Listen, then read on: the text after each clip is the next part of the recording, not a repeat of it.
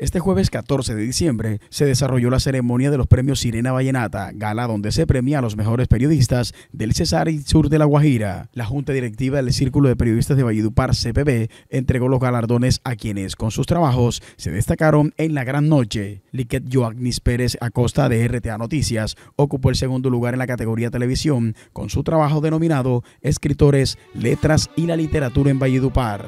Esta joven de 22 años completa un año laborando en RTA Noticias, cubriendo la sección de comunidad y farándula. Para la edición 2023 de los premios Sirena Vallenata, Liquet participó por primera vez. Gracias a Dios y a mi equipo de RTA Noticias por su colaboración. Primer año que participo y me voy contenta con este segundo lugar. Muchas gracias.